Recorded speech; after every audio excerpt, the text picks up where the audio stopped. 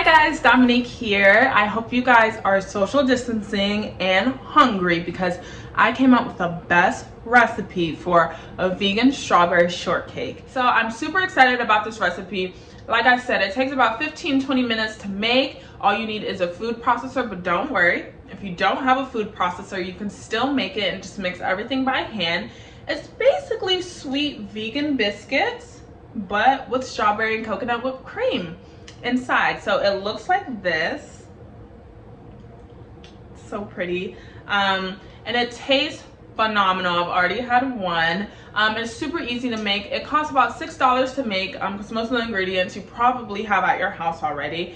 And if you want to learn how to make this vegan strawberry shortcake, stay tuned for the rest of this video. Make sure you like, subscribe, and veganhippiecafe.com launch, guys.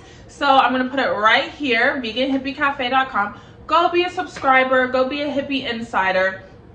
And you'll receive recipes like this all the time. And I'm just so, so, so, so excited for this. And I will see you guys in the next video. Enjoy. So we're going to start with our ingredients. We have some baking powder, some sugar, some vegan butter, strawberries.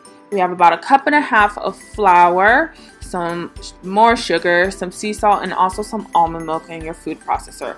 Everything will be listed below. We're going to start by combining all of your dry ingredients into your food processor. So the flour, the sugar, the salt, and the baking powder. And you're going to put the lid on and you're just going to pulse it a few times just to make sure it's all blended together. And if you're doing this by hand, just whisk all the ingredients together. So now we're going to take our vegan butter, I'm using Earth Balance, and you're going to take about six tablespoons. I did six or seven. Like I said, everything will be below and you're going to place them in your food processor as well. So this is where you're going to make your dough.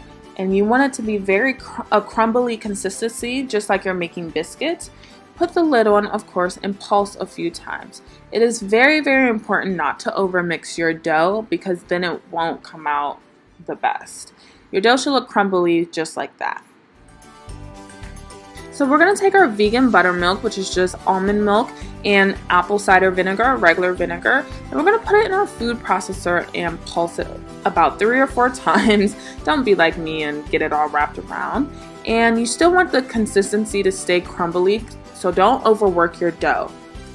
On a cleaned floured surface, go ahead and take your dough from the food processor and place it on there and you just want to be very gentle with your dough. I always tell people treat your dough with kindness and all your food with kindness and love.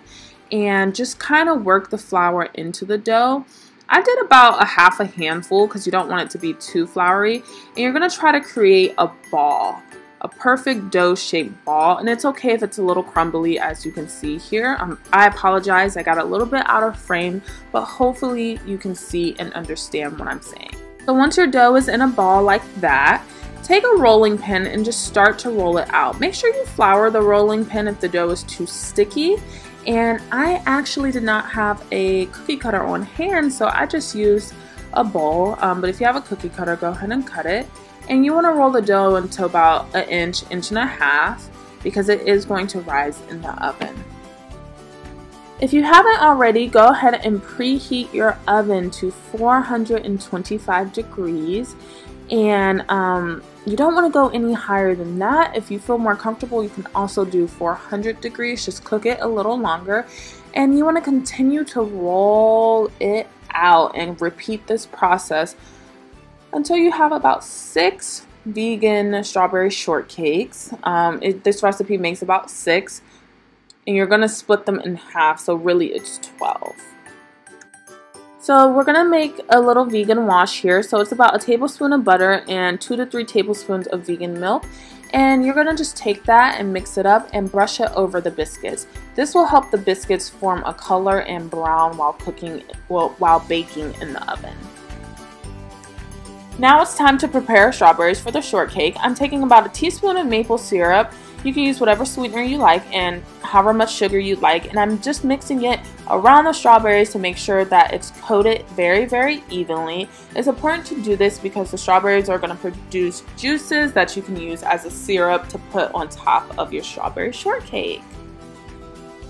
The next step in this process is making our coconut whipped cream. So this is the coconut cream we'll be using and I'm just showing you the different sweeteners that you can use, agave, sugar if you would like. I actually went with maple syrup because it's a great vanilla extract substitute. So you're going to scoop out the cream.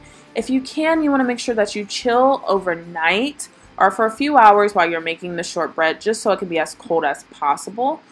Once you're done scooping in the cream, you're going to take your mixer and you're just going to mix it around. I actually, be careful because it got a little messy for me and it got everywhere. So try to do it on low, don't do it on high. And about halfway through, you're going to add in the sweetener that you choose to use and I chose to use maple syrup because it's a great vanilla extract substitute. You're just going to continue to mix until you get your desired consistency. I was hungry, so for me this was okay, but I would say mix a little more. So now we're going to prep the shortcakes. You take a biscuit and you slice it in half. You add your strawberries and don't forget to get the um, syrup at the bottom. You're going to take the coconut whipped cream and just put a dabble on top and then top it off with the other biscuit or you can do the same thing to the other biscuit and you don't have to make it like a little sandwich but I did and this is the vegan strawberry shortcake brought to you by Vegan Hippie Cafe. Enjoy!